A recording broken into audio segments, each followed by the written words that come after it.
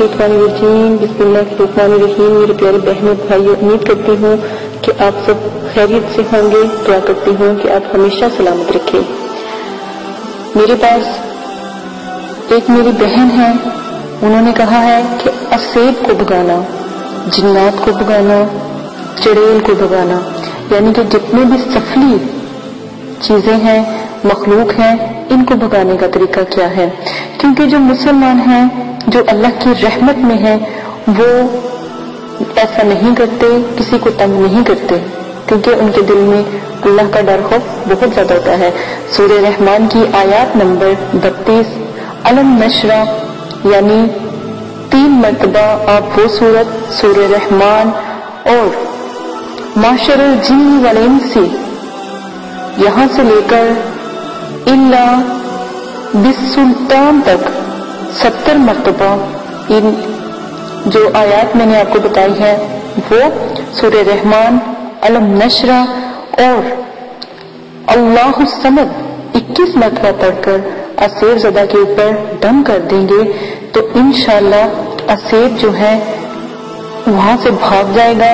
اور اگر آپ اس کو جلانا چاہتے ہیں، تو آپ اس کے سر کے اوپر جو سر کے بال ہیں، جس کے اوپر اسیر ہیں، اس کے بالوں پر، ان تینوں جو میں نے آپ کو بتایا ہے، سورہ رحمان اور سورہ جن، علم نشرہ ان سب کو پڑھتے پڑھتے تین گرے لگائیں۔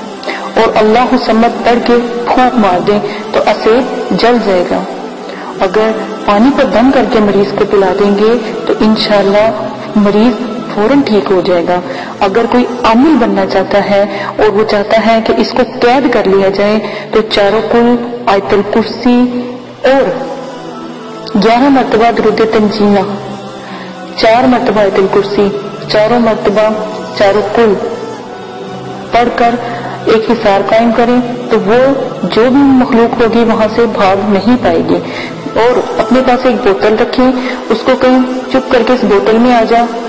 وہ تب تک وہاں سے نہیں بھاگ پائے گی جب تک وہ اس بوتل میں داخل نہیں ہو جاتی۔ آپ اس کو اس بوتل میں داخل کر لیں، اس کو اپنا غلام بھی بنا سکتے ہیں۔ یہ آپ پر منظر ہے کہ آپ کیا کر سکتے ہیں۔ اور اگر اس کو کہیں مٹی میں دفنا دو گے، تو وہ کبھی بھی وہاں سے نکل نہیں پائے گی۔ تو یہ تین چار طریقے ہیں، یہ آپ ضرور کیجیے گا۔ انشاءاللہ کبھی بھی کوئی مخلوق اس طرح کی پھر آپ کو تنگ نہیں کرے گی۔